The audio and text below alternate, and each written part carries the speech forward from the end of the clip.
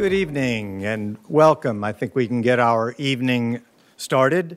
My name is David Gibson. I'm the director of the Center on Religion and Culture here at Fordham University. Our office is located right around the corner. Please come visit anytime. We're your host for this evening's discussion New Nukes and New Risks The Peril of Nuclear Weapons in an Unstable World. Now, this is an auspicious moment uh, for many reasons. For one thing, we're exactly 60 years out from the Cuban Missile Crisis in October 1962. Perhaps the closest, as far as I know, or we know, the closest the world has come to potential nuclear annihilation. As a child of the 60s, I was born in 1959. I remember very clearly kind of growing up with all the air raid drills and things like that. Next April will mark the 60th anniversary, similarly, of Pope John XXIII's encyclical Pacem in Terris, and the 40th anniversary of the U.S. Bishop's pastoral letter on war and peace, 1983, issued during another period of great nuclear tensions.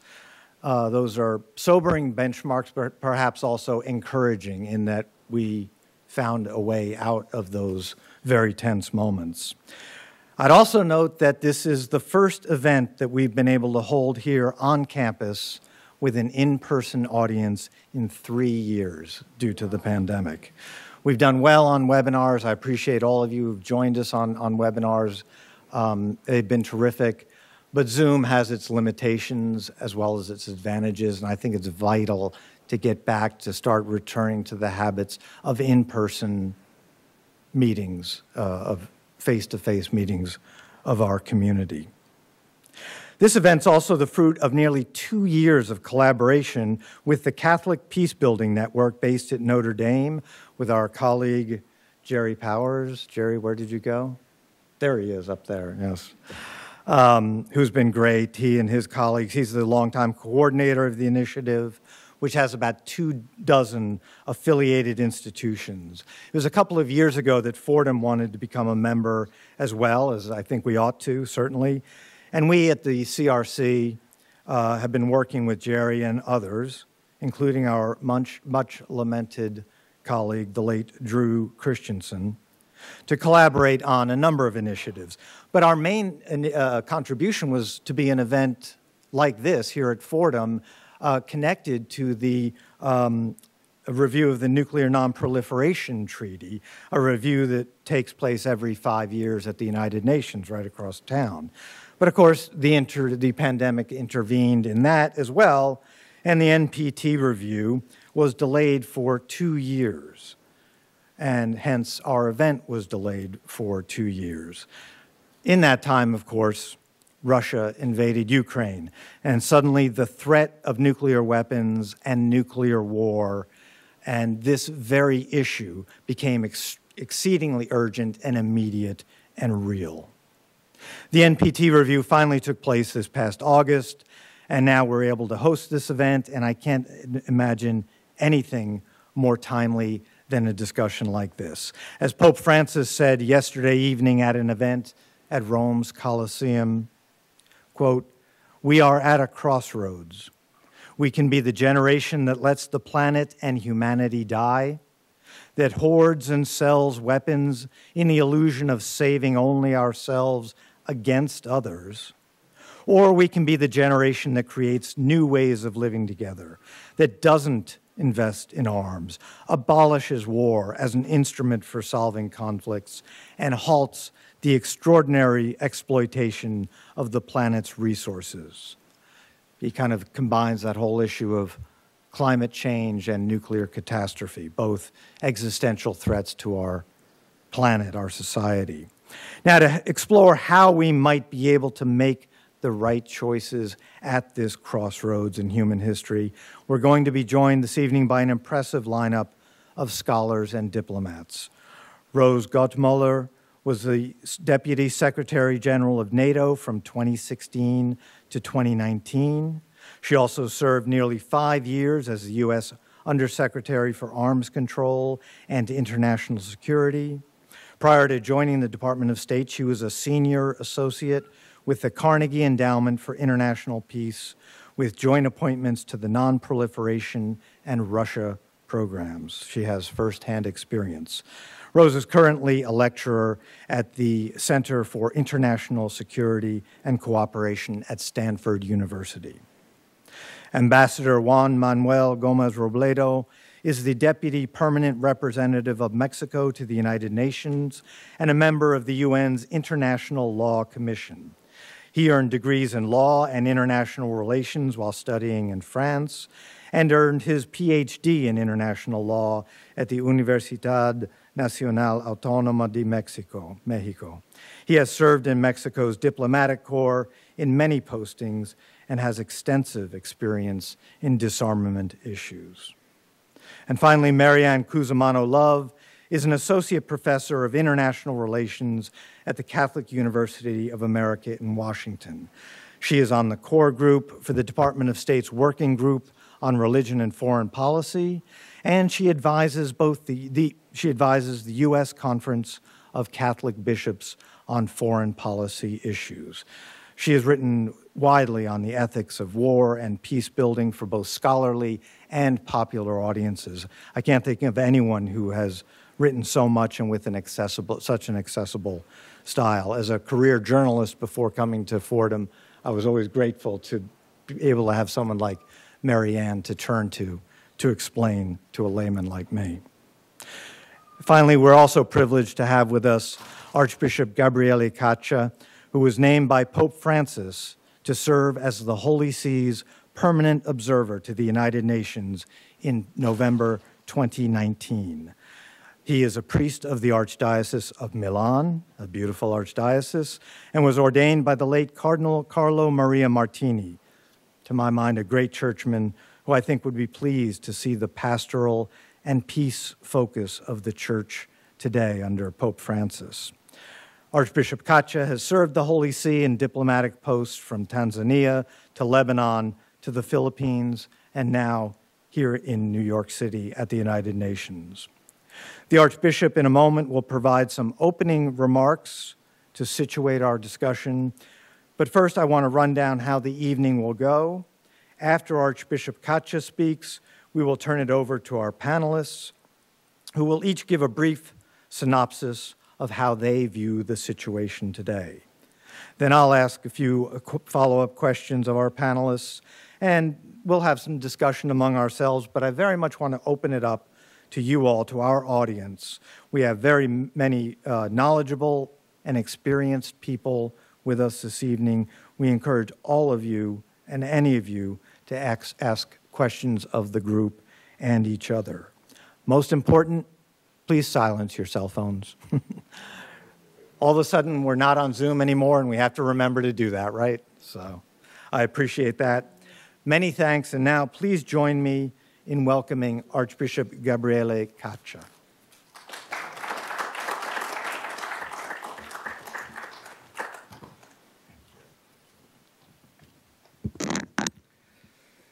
Thank you for uh, this kind of introduction uh, and for the invitation to speak uh, this evening. Tonight's event is dedicated to Father Drew Christiansen. In his 60 years as a member of the Society of Jesus and 50 years as a priest, Father Drew made invaluable contribution to the development of Catholic social teaching, especially regarding nuclear weapons. Father Drew's engagement with the Holy See mission to the UN lasted uh, for almost two decades. In that time, he served on delegation to various conferences on nuclear weapons, including the conference which drafted the Treaty on the Prohibition of Nuclear Weapons, TPNW, in 2017. Later that year, he helped facilitate a Vatican conference during which Pope Francis first condemned the possession of nuclear weapons. Father Drew later edited an award winning book of papers from the conference with Carole Sargent entitled A World Free from Nuclear Weapons. It is safe to say that without Father Drew's contribution, the Holy See condemnation of nuclear deterrence would not have arrived as soon as it did. Beyond this, Father, Drew, Father Drew's legacy will live on through those he educated, collaborated with, mentored, and inspired. And uh, I think that, like in the gospel is said, you recognize the tree from the fruits. There are many fruits tonight, and so you will appreciate the tree that uh, was at the origin of that. 60 years ago, yesterday, in the midst of the Cuban Missile Crisis, Pope John XXIII appealed for peace over the radio, imploring governments to, I quote, do everything in their power to preserve peace and spare the world the horrors of war, whose consequences are too appalling to be foreseen. In the days that followed, President John Fitzgerald Kennedy and Soviet Premier Nikita Khrushchev stepped away from that brink.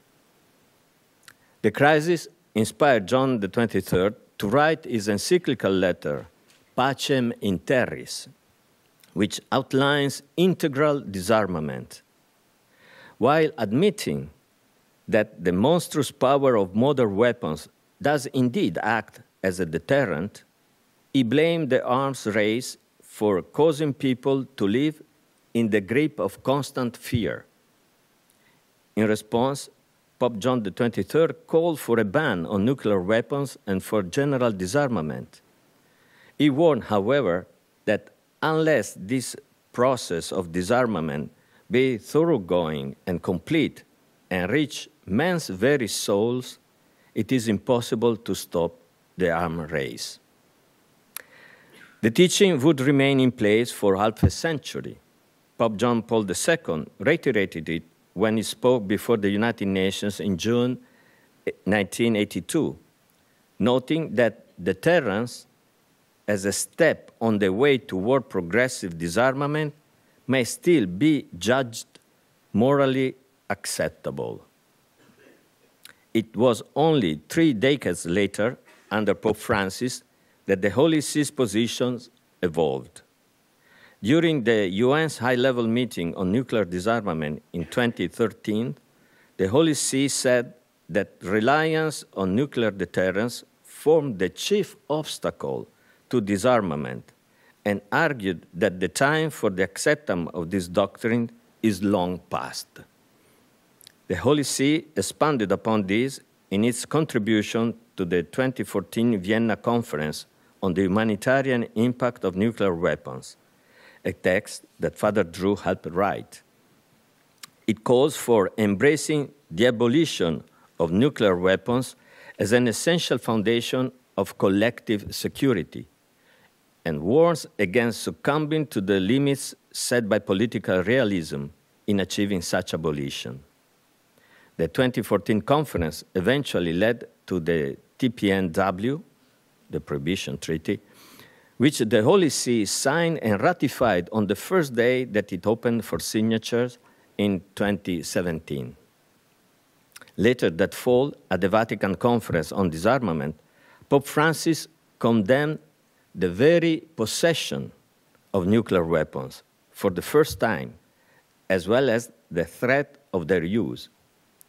Two years later, Pope Francis reiterated these condemnations in Hiroshima and Nagasaki, while further elaborating the process of integral disarmament.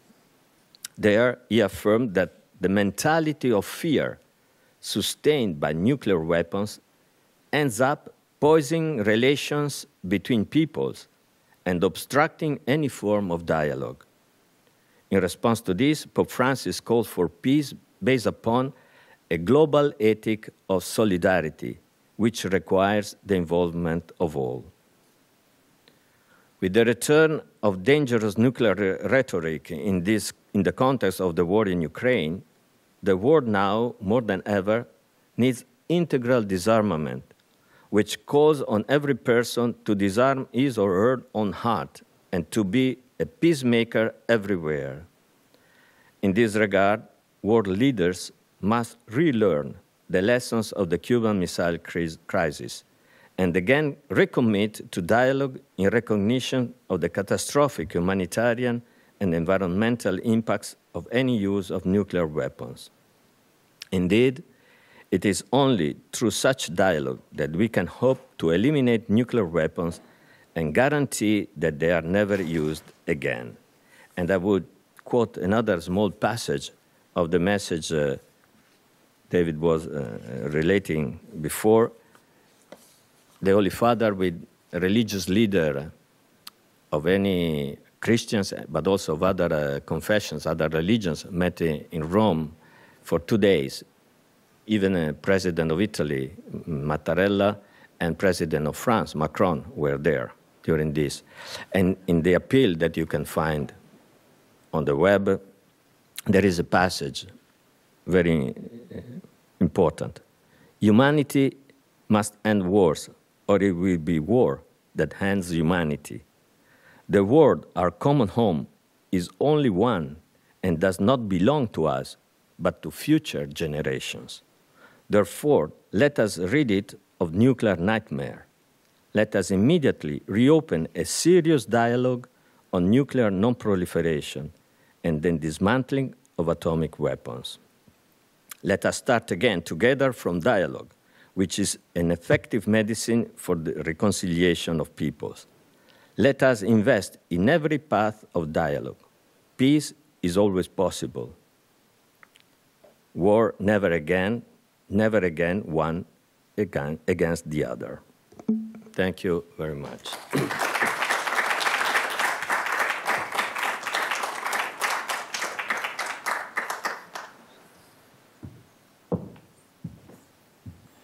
Thank you, Archbishop, for those uh, words of uh, yours and of Pope Francis's, and especially those remembering our colleague, Father Drew Christiansen.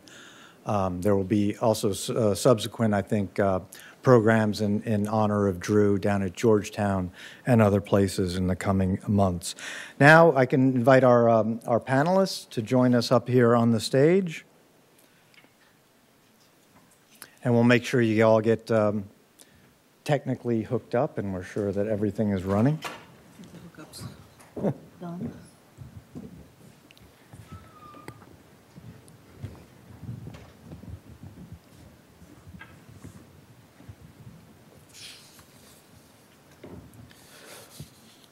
Okay.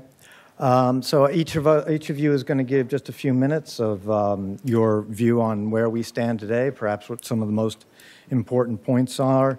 Why don't we, um, uh, Ms. Gottemoeller, why don't we start with you, okay? Thank you so very much, and, and thank you for the honor of being here tonight.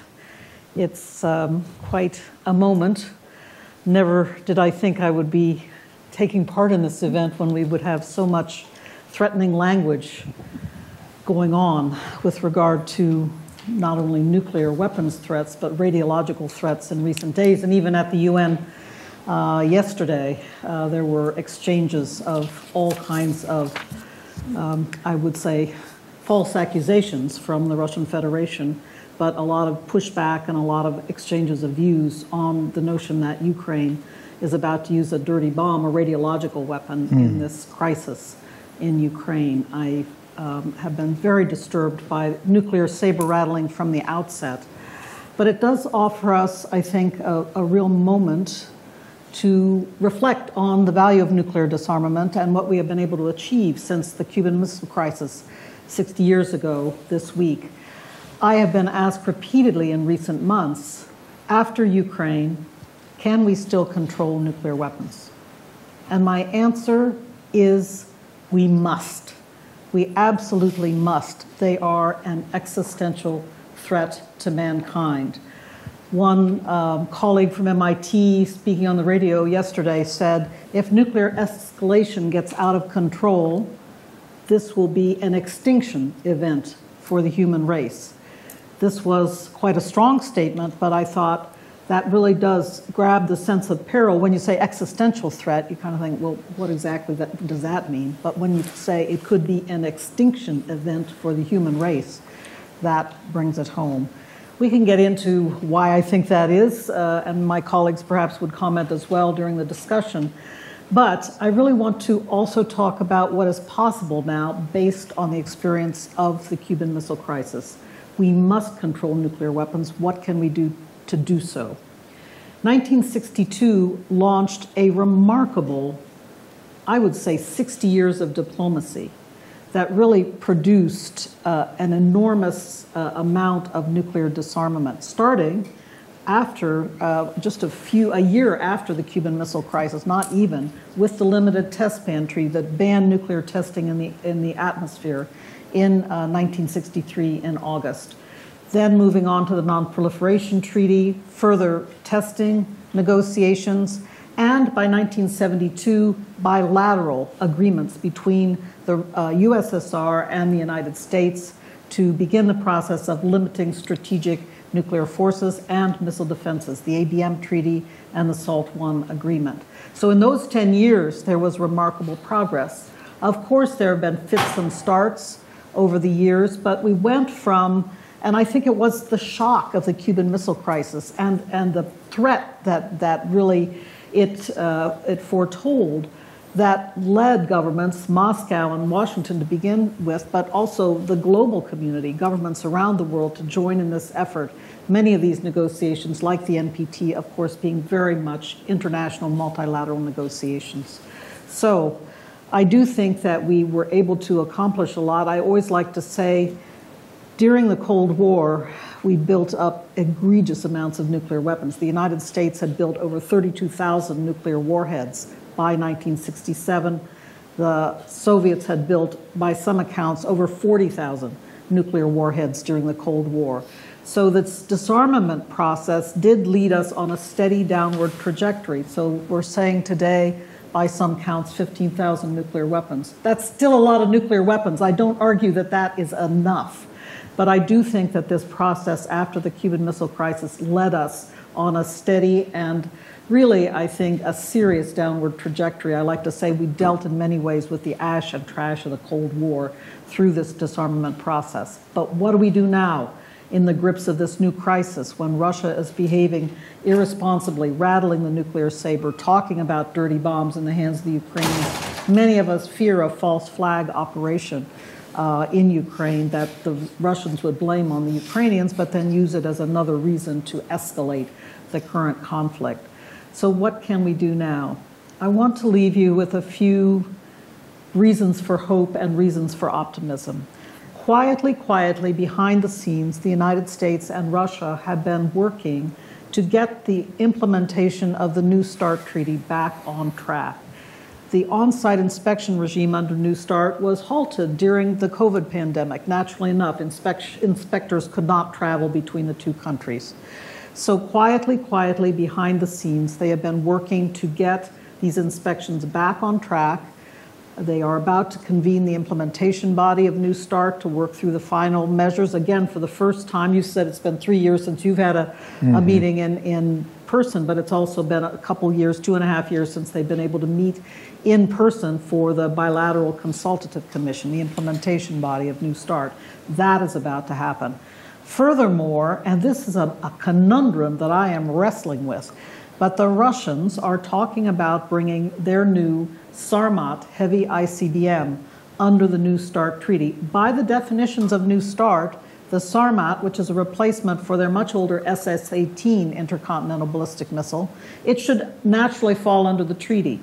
And I thought, oh, this is one of those those so called exotic new systems that Putin rolled out with great fanfare in 2018. Maybe they're going to refuse to bring it under the treaty. But no, a couple of weeks ago, they announced publicly in their media that they are planning to uh, give a so called exhibition of the missile early in the new year in February. And then as it enters deployment, it will enter under the limits of the New START treaty. And that is the important thing Yes, we are modernizing. The United States is modernizing. Yes, the Russians have been modernizing and building new systems.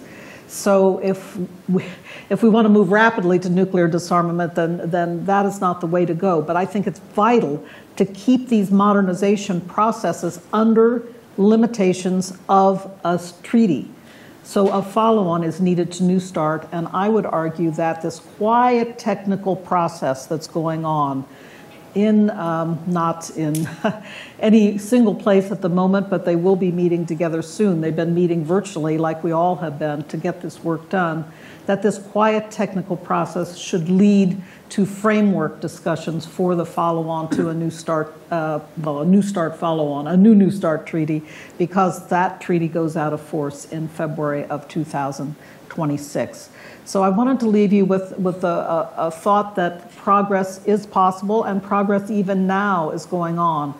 But we truly need the help of the entire global community, the countries such as Mexico, who have been so powerful in the disarmament movement and nonproliferation movement over the years, but also the religious groups. And I really give the Holy See, the Vatican, a good deal of credit for pushing this issue over the last decade. Uh, Father Drew and I used to argue all the time about the TPNW. As uh, Undersecretary of State, my position has been and continues to be somewhat different on its value. But nevertheless, it is valuable to have that impetus to further disarmament. And I do believe that the NPT community and the TPNW community can work closely together and are working closely together coming out of the NPT review conference on the topic of nuclear risk reduction. So I will leave it at that. I look forward to our discussion and uh, truly hope that uh, we can get to the heart of some of these issues this evening. So thank you very much. Thank you, Rose, very much. We needed.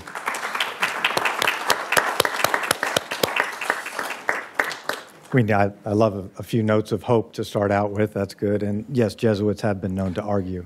Um, Father Drew, especially. yes, exactly. Uh, Ambassador? Thank you very much. And um, I can say that uh, Rose's optimism is contagious. and uh, she's certainly right because um, even uh, early this year, in January 3rd, the five nuclear powers issued a statement in preparation for the NPT review conference, which would have taken place in January, but because of Omicron, it was later postponed to August. But in preparation for that major event, the five uh, nuclear powers, as, as I said, issued a statement saying basically a nuclear war can never be won, so it should never be fought. Mm -hmm.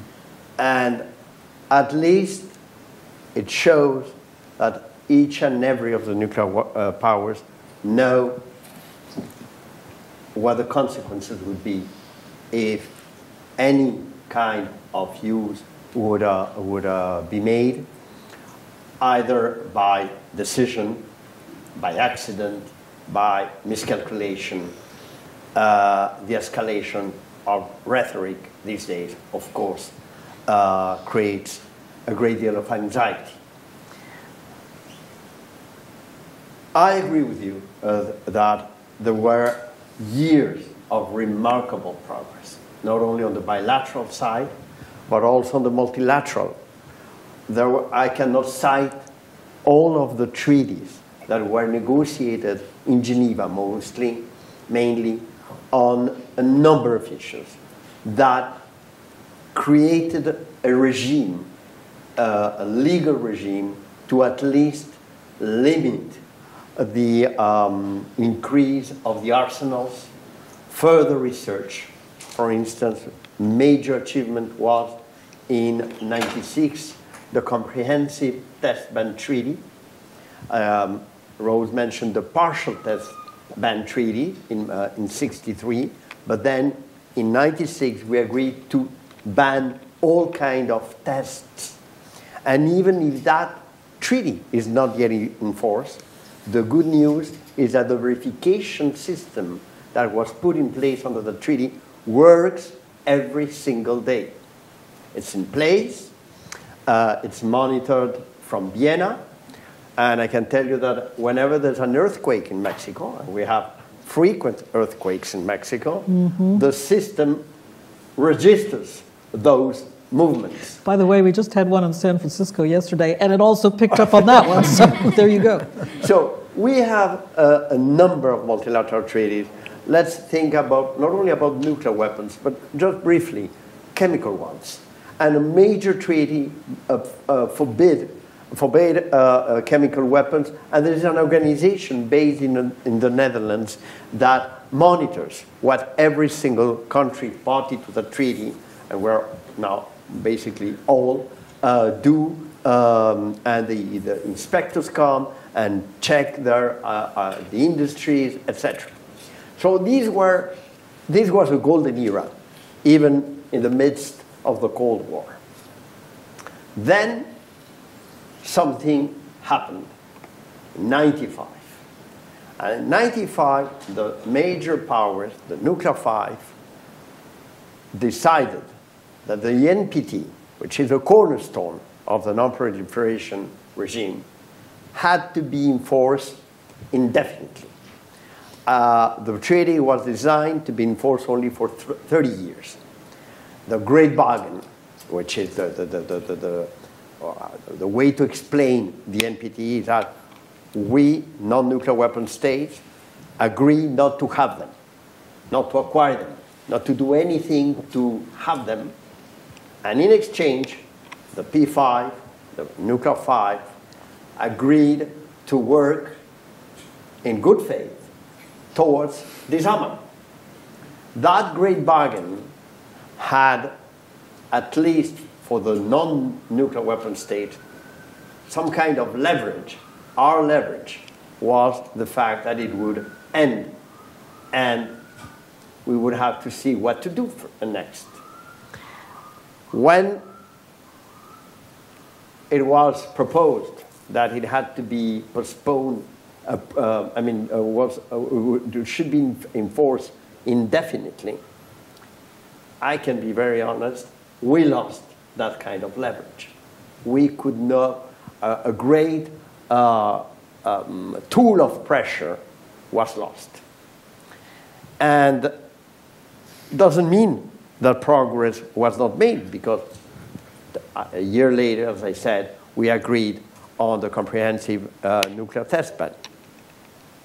But in, to a certain extent, um, the promises, the commitments under the NPT remain to be more and more unbalanced.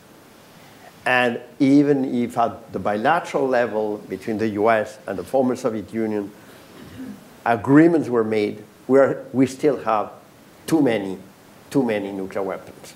I mean, only one would be enough to, uh, to put the whole, um, uh, to put humanity in, in jeopardy. What can non-nuclear weapon states like Mexico do? What we have done since the very beginning. First of all, immediately after the, the Cuban Missile Crisis, we propose to the region to convert Latin America and the Caribbean as a non-nuclear, as a nuclear weapon-free zone. The whole region is free of nuclear weapons, and the P5 have committed to respect that, which is very good. And even for countries such as the Netherlands, or France, or the UK, who have territories within the area of the treaty, they have committed to respect that. That has been a success story because five more zones have been created on the model of the first one, which is named after the, the treaty that put it in place, the Tlatelolco Treaty. So there's another one in the Pacific, there's another one in uh, Central Asia, there's another one in Southeast Asia. So, and we would love to have, of course, one in, uh, in the Middle East. It is the one that is missing, basically. And there's one in Africa. There's one in Africa. So that is a major contribution from non-nuclear weapon states to convert their geographic areas densely populated into areas where no nuclear weapons are allowed. That's the first contribution. The second has been to push for more on the basis of the humanitarian impact that a nuclear explosion may, may have. At a time in which uh, research continues to advance, at a time in which we are told that limited nuclear war can exist, where um, uh, weapons are much more precise um, than the, those that were uh, uh, sent to, into Hiroshima and Nagasaki, the fear of having a limited war exists. So we worked along with civil society, along with religious uh, um, uh, movements, to put more light on what that humanitarian impact could be. We held three major conferences one in Norway, the second one in Mexico, the third one in Austria, where at the end, once we have made the case of that humanitarian impact, we took the decision to negotiate the missing treaty. And that missing treaty is a treaty on the prohibition of nuclear weapons, which is in force, which is getting more and more parties. It has 69 parties now. It was signed and open for, uh, it was adopted and open for signature in 2017. You may say it is naive. How could you prohibit a weapon that is there, that is, that is embedded in the uh, military doctrines of a number of countries, because it's not only those who have it, it's also those who rely on nuclear weapons, basically the NATO countries, the members of the Atlantic Alliance. And the Atlantic Alliance just got two new members, Finland and Sweden, uh, immediately after the, the, the invasion of, of Ukraine. So, but still, in a community of 193 states, where we are also part of the, uh, of uh, not only of the, we, are, we want to be part of the solution because we could be simply wiped off the uh, face of the earth. So a number of countries, including European ones, Ireland and Austria, New Zealand, came together with those who had already committed through these nuclear weapon free zones to prohibit the nuclear weapons. It is more than a moral uh, um, imperative, it is now a legal obligation where at, we have been successful in stigmatizing the not only the existence, the possession, and eventual use of nuclear weapons. And to a large extent, I think that that explains also, if you allow me, Archbishop, to explain, to, uh, that explains the evolution in the thinking and the position of the Holy See. Because uh, I am still very uh, moved when I remember that we together uh, proposed to the General Assembly a resolution that says plainly that nuclear weapons are intrinsically immoral by nature. And this is taught to us also by international humanitarian law. International humanitarian law is a body of international law that is very relevant whenever there is an armed conflict. Because even in the extreme circumstances of an armed conflict, not everything is uh, legal. You cannot do whatever you want in an armed conflict. There are rules for the conduct of hostilities. The main one being the principle of distinction between civilians and combatants. And even among combatants, not everything is allowed. And it goes back to, to, to, to uh, the Middle Age or even before that. So uh, we have learned, and very important bodies like the International Court of Justice, in an advisory opinion requested by the General Assembly on the legality of nuclear weapons, said to that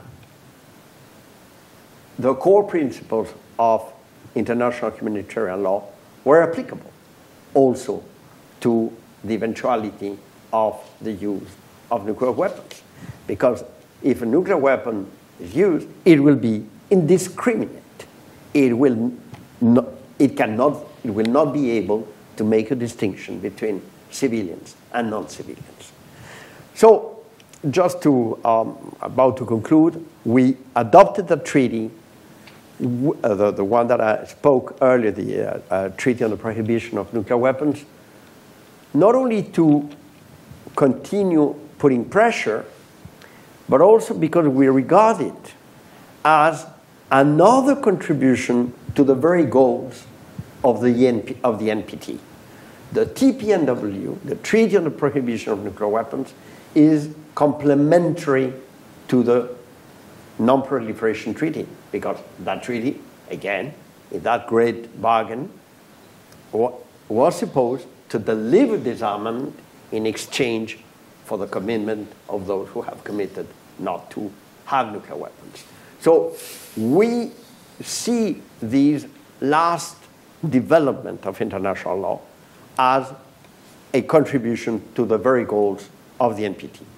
The NPT has done a great contribution to world peace, no doubt.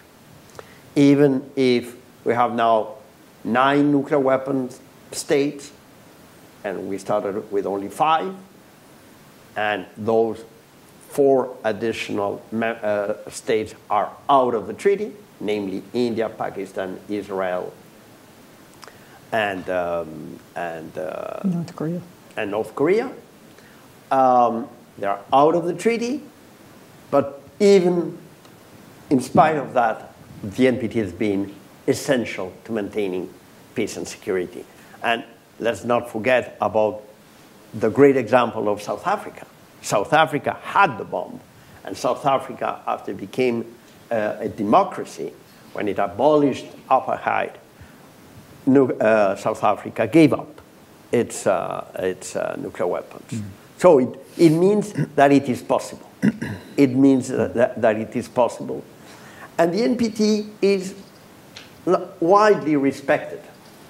The problem is that, that the dialogue among its parties is increasingly difficult. Mm. We failed in 2015 to have an outcome document. We failed again last August. Um, so, and we will meet again in 2026. What kind of world will we have in 2026? This is where my optimism starts to, starts to, to, to fade away. Thank you very much. Thank you very much, Ambassador. A bit of a roller coaster. Maryann Cusimano Love, how do you see things? Well, I, am very struck by what we've heard so far tonight. The, the good news is that we're seeing real movement. The moral norms and the legal norms surrounding nuclear weapons have changed. And that's the good news. We've heard from Archbishop Caccia how the church has changed the moral position regarding nuclear weapons, that the possession is no, is no longer considered uh, moral. We've heard from the ambassador the, how the legal position has changed and the, the, the loophole uh, has been uh, closed, that nuclear weapons are no longer legal as of last year. Uh, and we've heard from Rose the real uh, expansion in nuclear arms control and disarmament, slow, certainly, but very much, uh, uh, very much in existence over these past 60 years. So we have made progress in limiting num the number of nuclear weapons and in, in changing the legal and moral landscape. The problem is we have a gap. The, the, the, moral norms have changed, the legal norms have changed, but our policies have been lagging behind. And that's what we see in this slide behind us. Why do we still have 15,000 nuclear weapons? Why are we in this crisis situation today with threats of, uh, of nuclear weapons use being made, despite these rapid changes in moral and legal norms? So what can we do to bridge the gap how can we continue this momentum that Rose had mentioned uh, and, and continue to work towards a, a, world free of nuclear weapons as Pope Francis has directed us towards? And uh, I think there's a number of things that we can do and that we, uh, that we should do. And it's what I call the Peace Builders Toolkit. There's a variety of tools that are used in conventional wars to build peace. And the, often the dismissive response of some of the Cold Warriors is, well, that's for conventional war. Mm. Those tools have been used by non-nuclear weapon states. That doesn't really apply to, to, to the field of nuclear weapons. And, and I think that's wrong. the, the just peace principles and practices that have been used successfully and that the Catholic Church has really uh, uh, worked very hard to build peace in many parts of the world. Uh, these tools can also be pl- applied to nuclear weapons uh, to get to deeper nuclear disarmament, and they can also be applied to de escalate the conflict in Ukraine right now. So, what are these tools that I'm talking about? Well, there's really five principles of just peace uh, participation, uh, re- restoration, right relationship, reconciliation, and sustainability.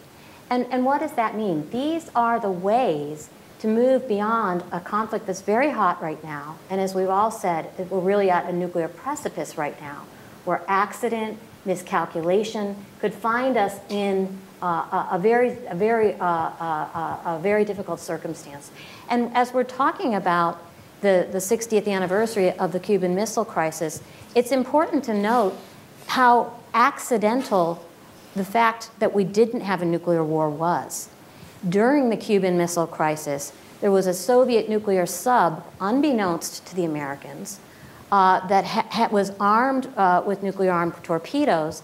They had orders that if the war, if they believed the war uh, had begun, that they were to detonate those subs.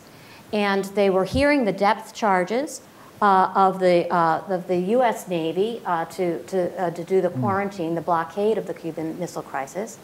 And they believed that that meant that we, the war had begun, and they ordered, they were be beginning to order the use of the nuclear weapons during the Cuban Missile Crisis. The procedure at the time was that they had to have agreement among the officers on board. And two, uh, uh, uh, two of the officers said, yes, detonate the, the nuclear weapons. There was a third officer on board just by accident. He was not a regular part of the crew.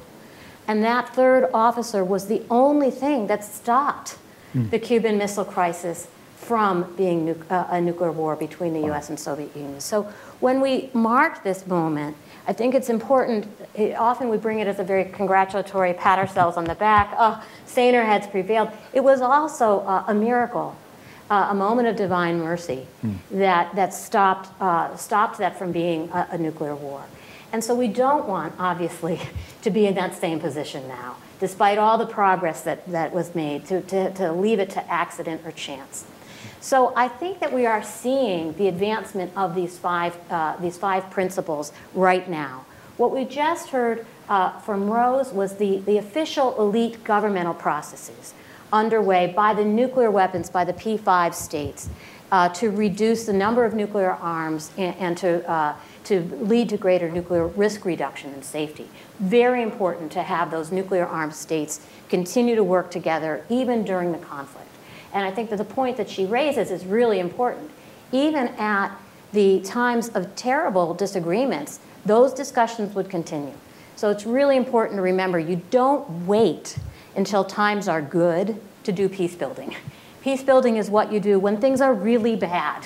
Uh, and that's what the Pope encourages us. Continue the dialogue, continue even when things are very difficult. So that is the, the first ring, if you will, of participation. What the ambassador told us is we've seen an expansion of that ring. It's not just for the P5 to determine whether nuclear weapons, uh, what the levels should be, what the policies should be. And we've seen a real robust expansion of the participation by non nuclear weapons states. But what I'm suggesting is this is too important to leave up to governments, and that the governments are not the only ones who get to determine this. And so, with the, with the ban treaty, we had a mobilization of civil society, we had a mobilization of religious groups. And it was the first time that we had the victims of nuclear weapons heard in the process. And I'm here to tell you that made a difference. I was mm-hmm. with Drew Christiansen. We were part of those discussions in the ban, uh, for the ban treaty. And the morality made a difference. Those moral pleas and listening to the victims and their stories moved people. Mm. And that is the move of the future that we've seen across a whole realm of humanitarian arms control, from, uh, uh, from the landmine treaty to the cluster munition treaty to the treaty banning nuclear weapons, we've seen an expansion of including the people who are most impacted by these conflicts and raising those voices. That moves the needle. That moves things forward. And so we, when we see uh, the discussion in, um, uh, of how to de-escalate the conflict in Ukraine right now, the widening of participation that's being done. We have a colleague from the uh, Ukrainian Catholic University here, Father Pablo, of expanding the participation, having greater solidarity and voices of the people in Ukraine, connecting those with others. That is absolutely important to de escalate the conflict and to move forward. The second principle, restoration. We have seen this is in, in the ban treaty as well, that we have to address the, the needs of victims, we have to clean up uh, the, the environmental impact done by these weapons. We've seen this in Kazakhstan, where there's been progress made to clean up from the nuclear uh, testing sites. We see this in the United States with uh, compensation to radiological victims. Uh, but more, much more needs to be done. Those are still all the Superfund sites in the United States are these testing sites, these nuclear weapons sites, and there's still a lot of cleanup to be done. The same will have to happen in Ukraine of restoration, both uh, of the, of the uh, human infrastructure as well as the physical infrastructure. We will have to have reconstruction of the country, but not only roads, bridges, apartment buildings, schools that have been damaged or, or destroyed, but reconstruction of the human spirit, restoration of the human spirit, trauma healing, et cetera. And those are what are things that uh, our colleagues are doing so well right now in Ukraine. You don't wait till the war is over to do that work. You do it now. Mm-hmm. And that is what they're doing. Even while the bombs are falling in Ukraine, they are working on these issues. Caritas, CRS are mm-hmm. bringing food, they're bringing emergency relief, they're doing trauma healing during the conflict. This goes to the third point of right relationship. Expanding the participation is a way of showing right relationship, the dignity of all, that this is not just for the P5 and the elites and those go- few government leaders to address. This is important. We all need to be involved. And so by expanding participation, you're also addressing that right relationship and showing the human dignity of all. And that means you're much more likely to get a peace that will last. Sustainability. If you're excluding people from the process, it's not likely that whatever peace accords you get will last, will be implemented. So it's incredibly important to expand that participation, expand right relationship in order to get a peace that will last, sustainability. The last point of reconciliation is one that I get the most pushback on. People think with reconciliation, this is just about forgiveness. We'll all hold hands and sing kumbaya. There will be perfect harmony. I would love that to happen on planet Earth. That doesn't even happen in my own family sometimes, okay? There's conflict, it's part of the human condition. That is not what, restora- what reconciliation means. There, it, it can be. That's certainly the goal, the aim.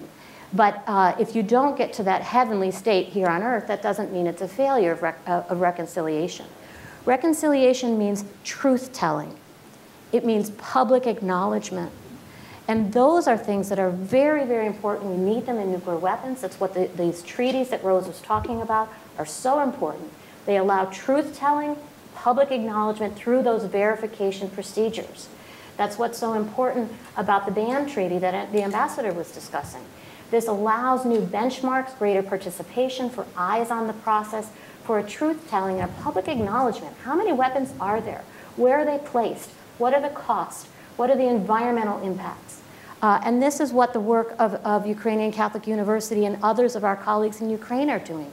They're telling the truth and witnessing to the atrocities that they are experiencing right now. They're gathering that data and bringing it forward as witnesses while the war is happening, while the bombs are falling. So the peace building occurs now, not just later when things get better.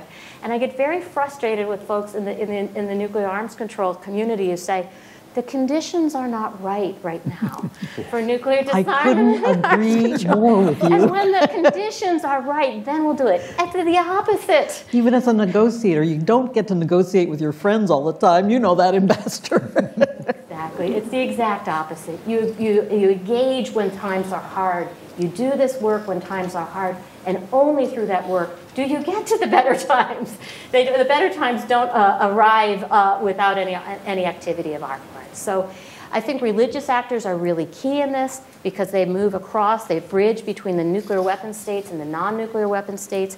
I think the Catholic Church is really important here because it's not a national church. So we have these networks that can bridge across. the nuclear weapon states and the non nuclear weapon states. And it's also important because the moral voice of the church, we believe that peace is possible, peace is practical, peace is our calling. To do peace building, you have to be able to imagine a world that includes your enemies. And oftentimes, policymakers have trouble doing that, have trouble imagining a different type of world. So, that religious imagination is absolutely key to be able to keep us moving forward, even if it's slow and, and with hiccups and, and with halts, and even if it's during the dark times we face right now.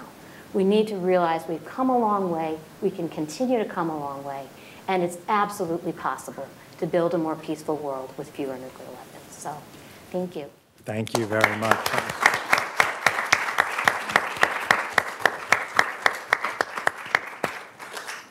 Thank you very much, and thank you all. And those are encouraging points. So let me be the cold shower on it all and, and raise some of the concerns. I have, a, but I think others do. One is that um, uh, Rose Gottemoeller, you, you mentioned the, the, the colleague who talked about it being a potential extinction event.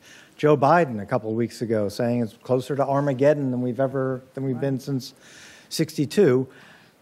There's the unthinkable, but also there's the thinkable with this talk of, you know, a false flag, dirty bomb kind of thing, uh, tactical nuclear weapons, that kind of thing.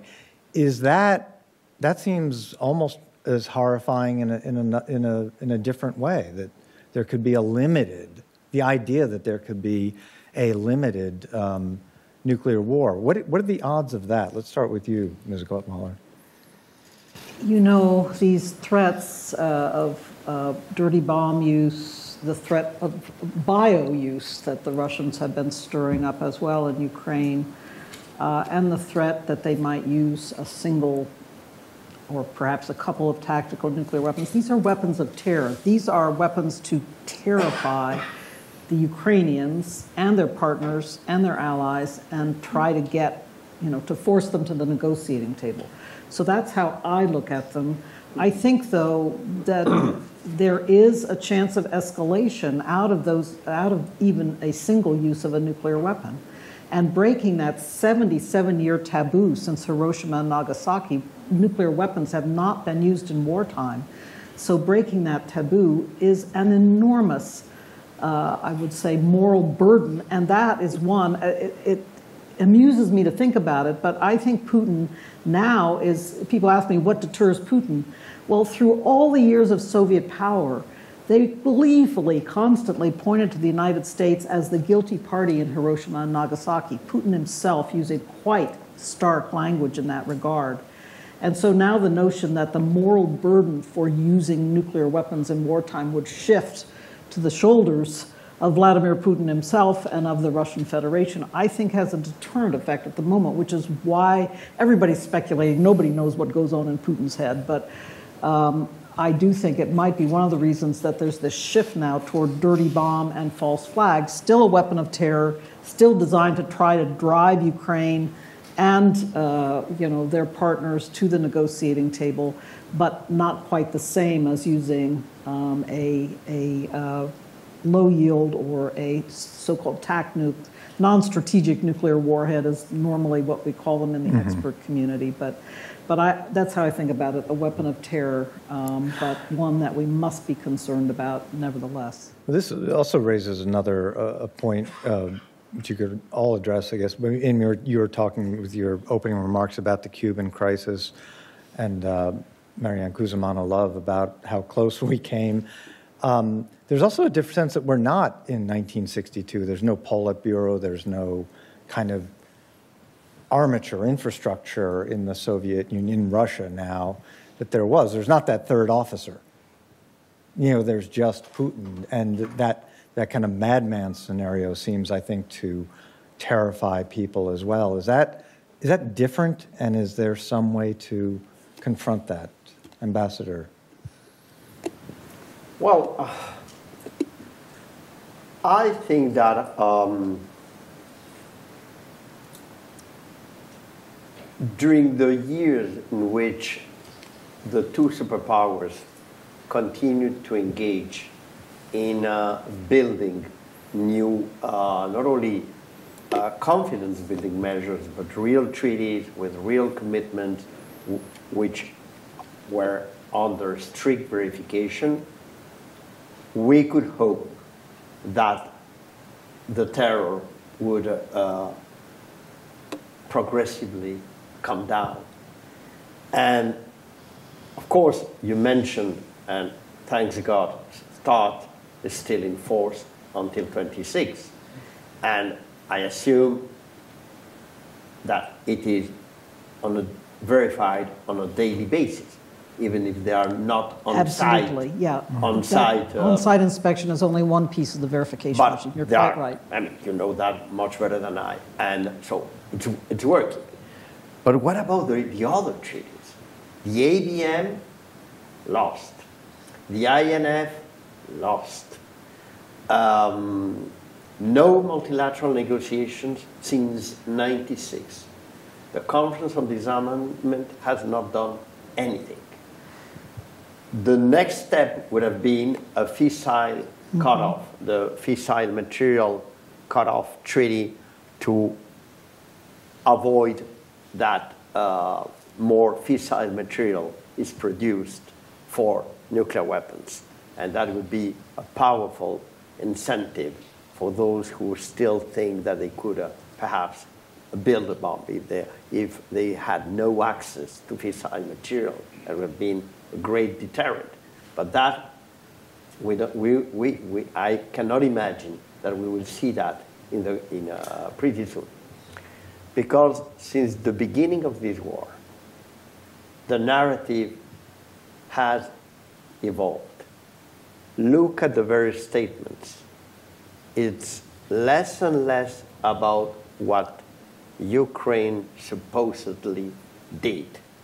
It's less, it's more and more a confrontation, a global confrontation with the West, with what they call now the collective West. Uh, that's uh, how we, uh, they are called in, in, in Moscow these days. And where um, everything comes in, into that global confrontation. Human rights values, which we believed were universal, take uh, only 93 as a major moment in which we all agreed on a number of commitments on human rights, including, of course, rights of women. All these is being questioned, put, put into question.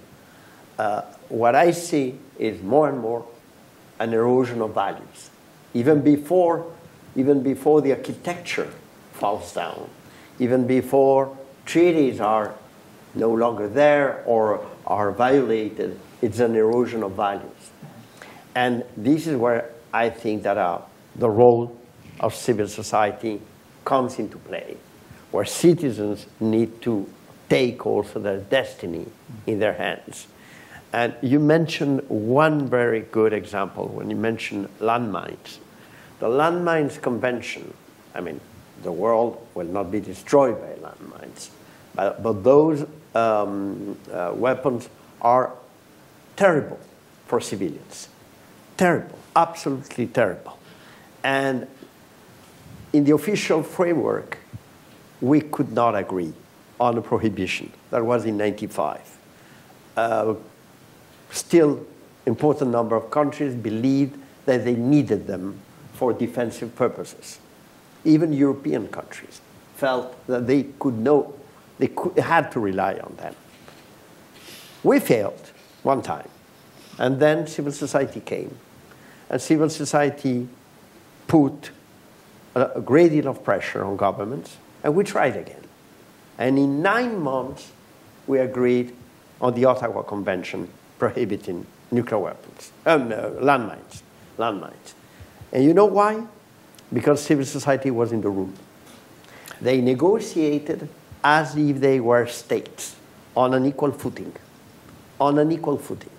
That was the first time at the UN where we had civil society in the room in that way, not just in the back making speeches at 10 p.m. when the room is uh, empty. No, being there and negotiating on an equal footing.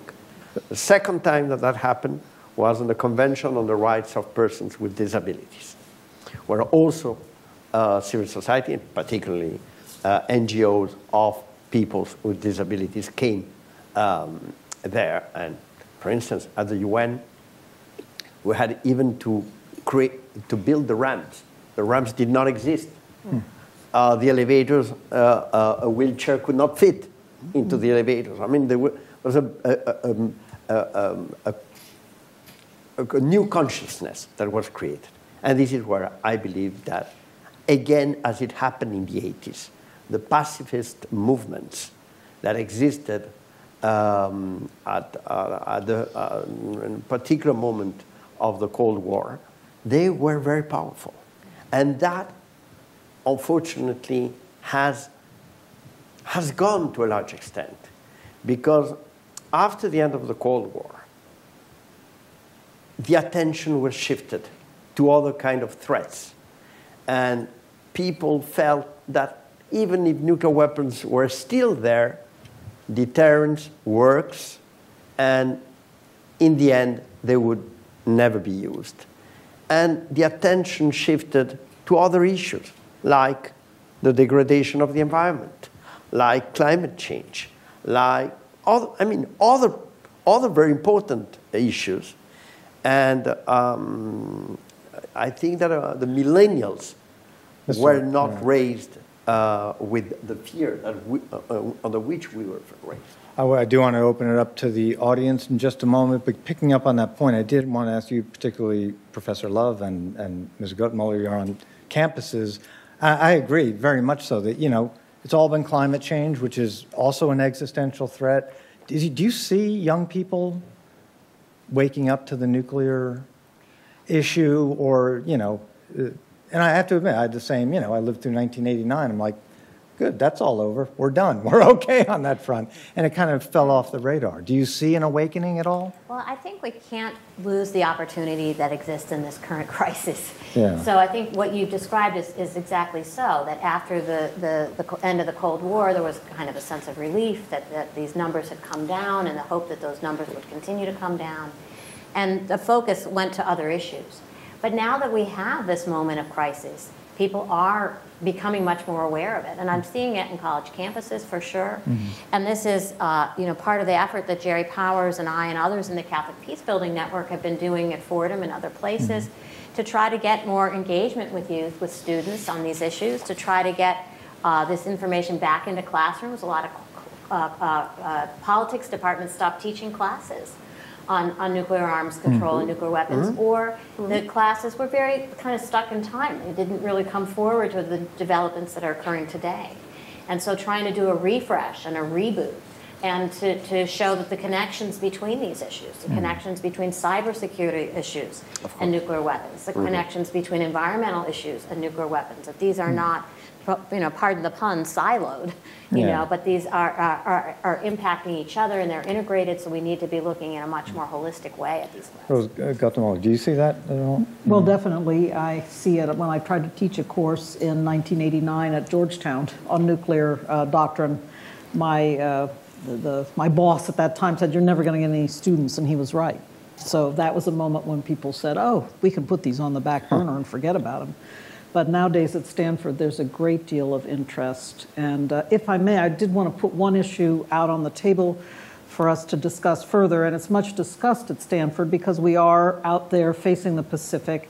And so the rise of China is a big issue. And it's a big issue in U.S. Uh, policy now. Uh, the rise of China and their modernization of their nuclear arsenal. Mm. I don't know exactly where it's headed yet but it seems likely that they are headed in the direction of changing their nuclear doctrine in order to allow for a much greater buildup than they have ever supported doctrinally with the way they've approached uh, nuclear weapons. So I, th- I, think we have to be aware of that. It's certainly something that is gripping the attention of, of my students in, in uh, California, but I think also it's gripping the attention of the US government very, very much. And it's just a factor we're going to have to take into account because it will complicate our further efforts to reduce and eliminate nuclear weapons, particularly in that China doesn't seem interested in engaging uh, officially on these issues. There have been some successful track two discussions, more or less, but, uh, but not a whole lot of progress in official settings to try to get the Chinese to engage on these issues. So that's, that's also. And it seems, in a, in a sense, you're right about that, and it kind of lurches, you know,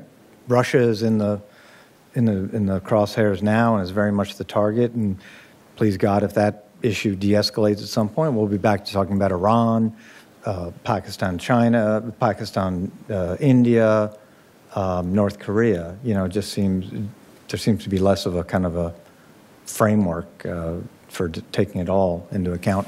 Let's open it up here, uh, please. Jerry, did you want to? And there's Jerry Powers of the of Notre Dame. Yeah.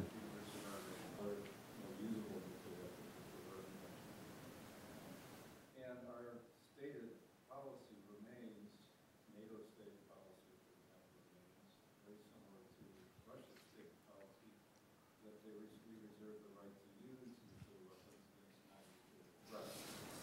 Um, the- So what can be done to reduce the policy gap in those kind of areas? Should we uh, adopt a no first use declaratory policy, for example? I guess Who- that question's addressed to me.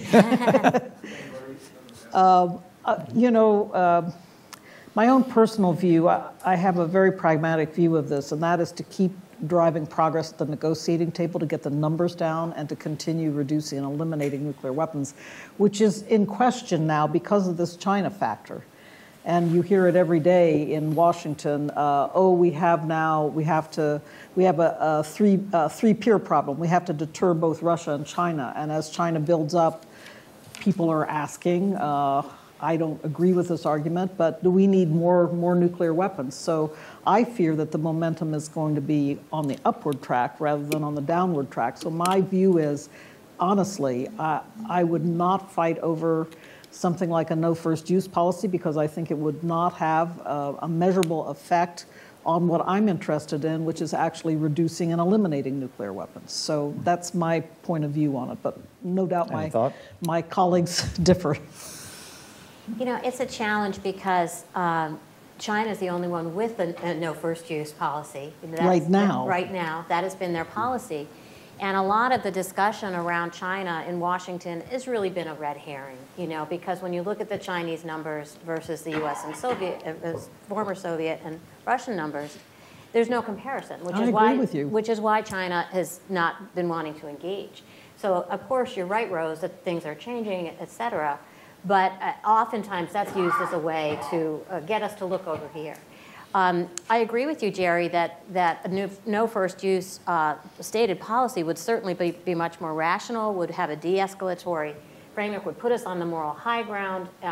Because during the, the, the uh, Non-Proliferation Treaty Review Conference this summer at the United Nations, you know, my colleagues at the, at the US team were in a very awkward position of, of pointing out Russia's nuclear threats in Ukraine and saying, well, those are irresponsible nuclear threats. And the, the nuclear threats we make in the U.S. are responsible nuclear threats. You know, and that's not a great, you know, uh, position to have to argue. And I think you would be on, on a much stronger uh, uh, moral, legal, and ethical grounds to have that no first use doctrine. And, but the, the Biden administration pulled back on that before the election, before he was elected office. He, he mentioned that that was one of his uh, uh, uh, ideas. It was not in the, the nuclear posture review. They backed away from it. And I think they did it for the pragmatic reasons that Rose outlines, that they, they felt they would generate a, an awful lot of, uh, of controversy and possibly, you know, uh, undermine the, the momentum on other issues. And so the they had to make that kind of a, a triage, uh, you know, uh, uh, uh, uh, decision. The Allies reacted very strongly and negatively. I thought they, personally, I thought they overreacted. But let's just be clear the policy is that the fundamental role of nuclear weapons is to deter other nuclear weapons, and the chances of them being used are extremely remote. So it's not as if, uh, Maryann, you made it sound like the U.S. is out there at the UN making nuclear threats every day, and I didn't want to leave that point because But, the, but that's the, extremely remote. Right, the U.S. is not making this es- escalatory threats uh, as Putin is, clearly. You know, there is a difference between the two. But the other is that nuclear deterrence relies on threats. You know, that is the, the, the part of that. And that's, I think, what the, the, the ban treaty folks are saying, that, that let's, let's mm-hmm. look back below mm-hmm. the cover here and see what is involved in a deterrence policy. It is this threat. Can we uh, open up Father Pablo? Or- Yeah. I'm not a father anymore. Oh, no, no, yeah, oh, okay, I I misunderstood, thank you, yeah. J- I- But identify yourself, you're with Yes, the, I'm Pablo Smytsnyuk. Uh, Uh, I, I work uh, director of the Ecumenical Institute in Lviv at the Catholic University of Ukraine, uh, and I'm now for a year at Princeton uh, as a research fellow. Hmm. Uh, thank you very much for the discussion. And uh, uh, so, as I follow um, how the US and, and the West approaches the, the war in Ukraine, I, I, I have a feeling that there is a consensus that Ukraine should be helped and, assisted. Uh, and I think there is a, a good argument for that, even uh, when we speak about nuclear non-proliferation, because um, Ambassador mentioned countries, yes, who had nuclear weapons and don't have them anymore, and Ukraine in uh, 1994 uh, gave up its uh, huge nuclear arsenal upon uh, conditions that it, its sovereignty will be respected. And I think that if Ukraine, having surrendered its weapons, is now left alone, that's a bad precedent for countries that might consider giving up nuclear weapons. But my question is, how can we keep supporting Ukraine and at the same time de-escalating? Uh, uh, many voices that argue for de-escalation, they suggest that well, we need to stop uh, Yeah. giving weapons to Ukraine for self-defense. Uh, are, are the two goods, two values mutually, ex- do they exclude each other? good Is question. The escalation doesn't necessarily presuppose uh, stop giving weapons to Ukraine and supporting Ukraine. Well, I had a. Or brother, I'll please, just very no, quickly please. No. comment that I, I think the United States and the Russian Federation have a special responsibility as the two biggest nuclear powers to bring the nuclear temperature down. I, I wrote about this in the Financial Times two weeks ago on Sunday.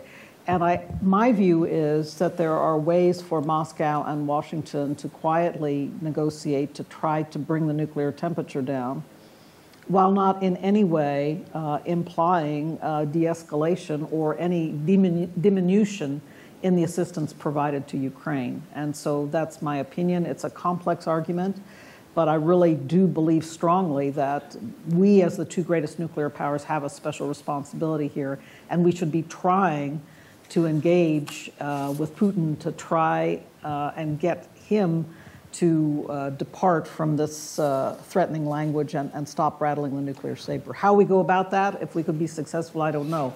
But it does not, in my mind, relate to, again, any diminution of assistance to Ukraine. I would say that um, it's not for um, anyone than Ukraine uh, to uh, and and to Russia to sit together and negotiate. First of all, a ceasefire, and then a lasting peace. Uh, none of us can impose any kind of condition.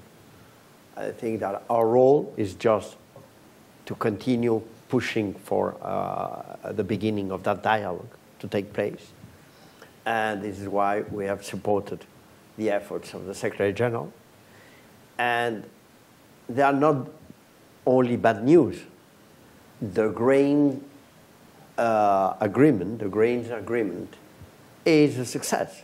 Is a success where players such as Turkey and uh, the Secretary General played an important role. And what seemed to be a major uh, problem uh, at the beginning of the winter in places like Africa has largely been avoided.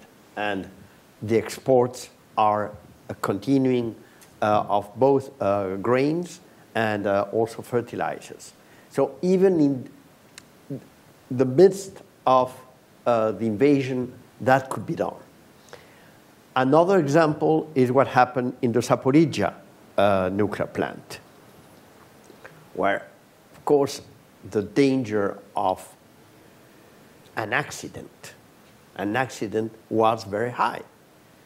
But then again, the International Atomic Energy Agency came, offered its services, its mediation, and now you have in the plant, uh, as far as I know, still a team from the uh, uh, International Atomic Energy Agency, um, making sure that uh, the plant is operated in a safe way. Um, and the plant is in occupied territory, and uh, the still uh, uh, Ukrainian technicians are, are there. There are also um, Russian military, but even in that very complex context, the mediation, uh, the diplomatic role, the personal diplomatic role of the DG of the agency, uh, Rafael Grossi, uh, was absolutely uh, essential. Uh, but that brings me to the issue of the dangers associated with the safety of nuclear uh, sites. I mean, everywhere in the world. And we can do certainly more for securing those sites. And I remember President Obama with uh, his initiative on um, nuclear security, which allowed for a number of things to happen, even in my own country. We, uh, uh, one of our reactors, a research reactor, benefited from the cooperation that came from that uh, initiative. And uh, so there's still a lot of room for improvement. But if the big ones, those who have that special responsibility, and I thank you for, for mentioning it, do not talk to each other, that's, that's where uh, we can start losing any, any uh, reasonable hope. If the, that communication, even discreet, as you said, does not take place, where are we going? Yep, exactly. Can I uh, just interject one quick thing which you raised here, which is, again, the Ukraine uh, nuclear plants. Does this bring, I mean, that's as scary as a nuclear, it's essentially a, a dirty bomb if one of those Yes, has an accident. yes, yes. Is that, is, is is the Ukraine theater and what's happening there with these plants, is that bringing a new element to the whole nuclear?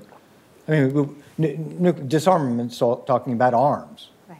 right? And do we also need to talk about denuclearization, which is a problem with climate change? Well, we, we certainly need to talk about greater safety of these sites. And I think they're safety for a variety of reasons. You know, you have the older generation of nuclear power plants, you know, that we saw even in developed democracy of Japan, you know, having this trouble with the Fukushima site. Fukushima, And, you know, now we have the unprecedented situation of the largest nuclear power plant in Europe in the middle of a war zone and being actively fought over. If I can just use the, the, the words of Archbishop Shevchuk uh, from Kiev, said, Ukraine already experienced Chernobyl. Now it stands on the threshold of a new atomic threat that can be 10 times worse.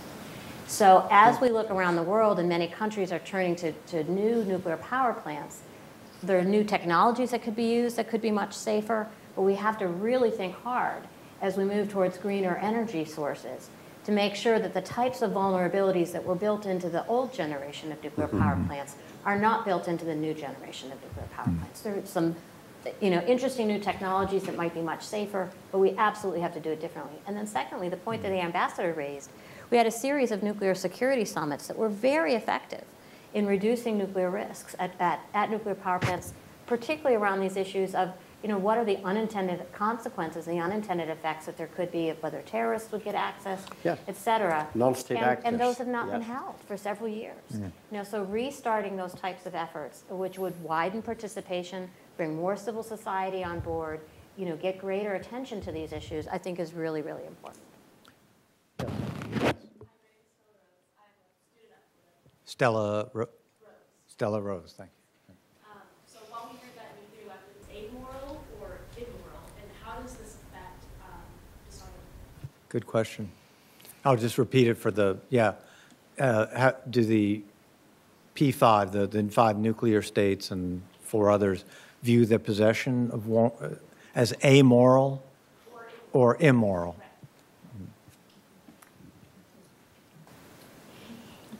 I'll Maryann, jump first. You're the, you're the moral Yeah, uh, ethicist. Clearly, the argument that the nuclear armed states make is that they have these weapons in order to prevent their use, as we heard from Rose, that the deterrent purpose is, is the reason they have them.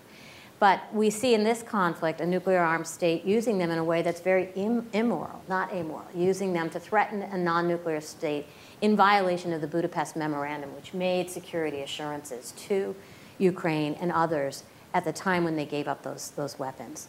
So I think it is it's an incredibly important point that you raise. If the argument is going to be made that, oh, these are just for deterrent purposes to serve a greater common good and, and, and de escalate conflict, you know, we have to address these, these circumstances right now where they're using, being used in a quite immoral way to threaten a non nuclear weapon state. Thank you. And I believe that that question that you raised uh, explains also to a large extent why the Treaty on the Prohibition of Nuclear Weapons is so disturbing in certain circles, at least, expert circles, military experts in, uh, in the P5 countries, because they certainly do not want uh, to be stigmatized. And the, the stigmatization matters. Even when countries violate international law, they continue to express themselves in legal terms, which means to me that they want not only to justify their actions through legal arguments, but in a way, it, it, it means that um, the, the, the, uh, the, legal, the legal dialogue matters even for countries that are ready to, to violate the most sacred commitments. So, what we, I think we did through that treaty is to start establishing a rule that could, uh, according to the rules of creation of international law, convert itself number of years in a rule of customary international law. And if that happens, it will be uh, it will bind everyone, even those that have not expressly accepted it. It's what we call in international law obligations erga omnes. And that's what the International Court of Justice said in that famous advisory opinion. Core principles of international humanitarian law are obligations erga omnes, even if X and Y countries did not ratify the Geneva Conventions, for instance. So this is uh, very powerful. This is very powerful, and I personally think that the mere possession is immoral. And One more. Two, two data points to back up what the ambassador said. There are treaties that the U.S. has never uh, ratified that we still abide by. So the U.S. Uh, still abides by the Comprehensive Test Ban Treaty, even though the Senate hasn't ratified it. To, to our, to our uh, great distinction, I think. I'm glad, very glad we do that. And the Landmine Treaty as well, except for the demilitarized zone in, in, uh, between North and South Korea, the United States has largely in, you know, uh, been in, in, in abidance with that treaty, even though we're not, we've not ratified it. So it, it is a very powerful thing. Rose Gottemoeller. Just a very quick and, and personal comment, and it's something to think about.